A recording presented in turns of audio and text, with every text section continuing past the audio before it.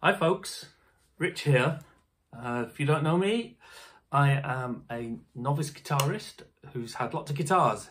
This is guitar number 87, which is crazy.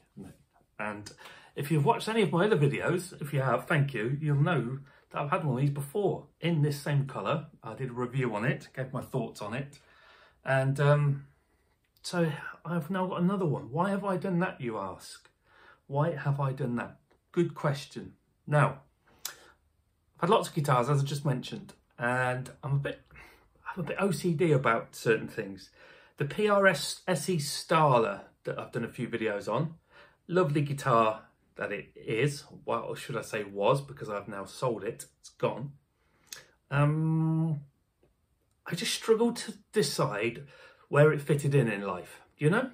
So you've got Stratocasters, Telecasters, Les Pauls, and you've got some pointy Ibanez things. You know, there's a sort of, there's a category of guitar types. Now, I appreciate that the Starla, you'd say, is a single cut. Well, obviously it is a single cut, but what is it? What is it? It's got a thinnish body, slightly funny shape. Mm, it's got the, it's got a blade switch, even though it's got two humbuckers. It's a coil tap. It's not a Les Paul copy. It's a, what is it? It just felt like I didn't know what it was. it didn't fit in with life. Plus, I really don't like tortoise pick, pick guards. I really don't. They're my least favourite colour pick guard ever. And I know they're really popular, especially with white guitars. So there it was, sat in my uh, in my room on its stand, just staring at me all tortoisey and don't know what it wants to be. E. It's just, uh, yeah. So I thought I, I just can't live with this. So as you know, I recently bought the Squier Classic Vibe Strat, which I'm delighted with, and that ticks the, the Strat box. Um, actually, what's going on there? Yes, that ticks the Strat box for me. I've had Fenders in the past. I didn't feel the need necessarily to spend the money on that. And uh, yeah, very happy with it. So then I'm like, well, I, I still want something humbuckery. And uh, what can I do? Now, not wanting to spend a lot of cash, not having a lot of cash, in fact, right this very second, I thought, what can I do? Now, on eBay, I just had to, I just thought I'll have a little look for Harley Benton's and vintage. I was going to get a vintage V100, having had one of those before, but um, they've gone up in value secondhand. It's kind of £200 really now. Well, I'm not saying it's not worth it, but yeah, they've kind of gone up. And then I saw this. Oh, the other thing is with the v, vintage V100, by the way, when you sit it on your lap like so, the weight of it does this. Doesn't sit on the lap very well. It's a bit of a weirdie. Obviously, that's I'm a right-handed player. That's on my right leg. If you're someone who holds the guitar in the middle, doesn't matter, I suppose. So anyway, sorry, waffling a bit now. So this came up, and I thought, now when I had my one of these, I wanted it to be a guitar to do everything. It's got a coil split on it and all that jazz. But as you'll see from the review, that's just not really the case. The single coil tone is okay, but you know, it's not brilliant. This front uh, pickup's a little bit muddy and the tone knob is basically on or off. But notwithstanding, it was a good price. I like the colour. Although, although interestingly, as is the way with these budget kind of guitars, the flame top on my previous one was nicer than this. It was definitely better. Um, this one's got a few minor imperfections. So did the other one. I'd say there's probably a few more minor imperfections on this one. Probably a B stock, but nothing disastrous. Talking of minor imperfections, when I had my Epiphone Modern Figured briefly, that had a bunch of uh, minor imperfections on I sent it back. Interesting that some people commented to say, you know, what do you expect for a guitar at that price point? Now, to me, a 550 pound guitar shouldn't have that many imperfections. And given that this Harley Benton has no, no more imperfections than that had, and it's a, you know, like a third of the cost. So, so anyway, so now, the reason I can live with this and not the PRS Starla is because this is quite clearly a clone of an ESP Eclipse and a good clone. So this makes me think it has a place in life. It's a thing. It's not a it's not a one-off weirdo. There's no tortoise involved. And it's um yes, it, it is it just does what it says on the tin hello, I'm copying an, an ESP Eclipse. Uh, and actually, as you see from my video before anyway, your belly cut on there, the body's not too thick. It's quite nice, comfortable to play these are.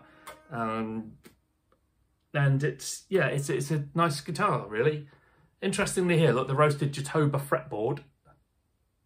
it's got a lot more sort of markings on it than than the one I had before.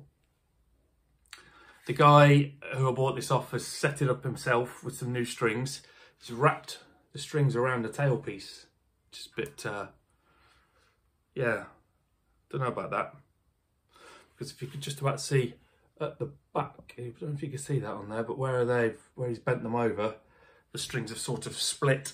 I don't think they'll break anytime soon. The only other thing is the action is so low, which is great because you hardly have to touch it, um, but it's a bit too low on the uh, on the upper frets. There's a tiny bit of buzz, but nothing disastrous.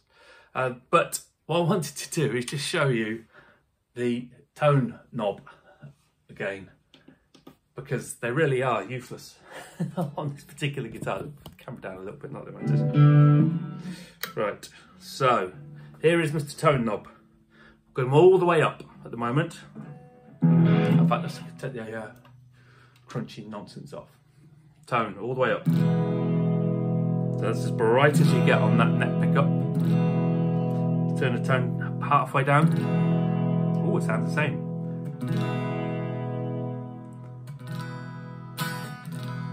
and now it's so low the volume has disappeared with it. So tone all the way up, halfway. It is just another another volume knob. Halfway up the top. Just mud all the way. um, bridge pickup, full tone half tone, tone off. Barely any noise coming out the amp. Completely useless knob. yeah, that's with the coil split out on, on the next pickup.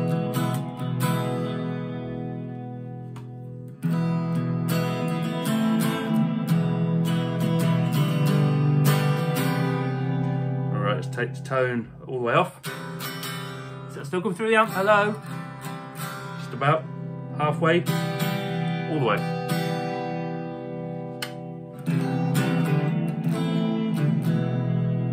But that doesn't matter because I haven't bought it for that purpose. I bought it because I need some humbucker goodness in my life and I figured this would wow wow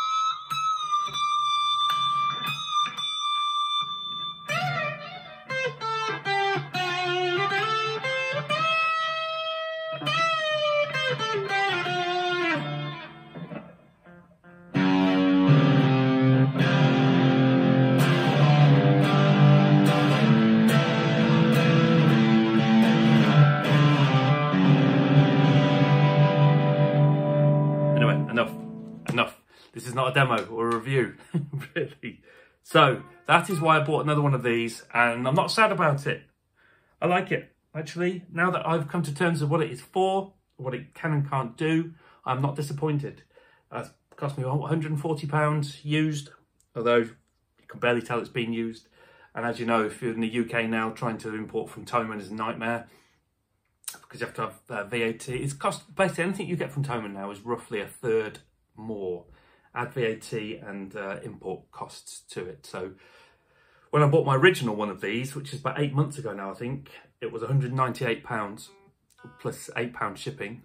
They dropped the price of them quite a bit. I think about 160 now, but then you put your VAT back on and your shipping and your import costs and actually a bit more.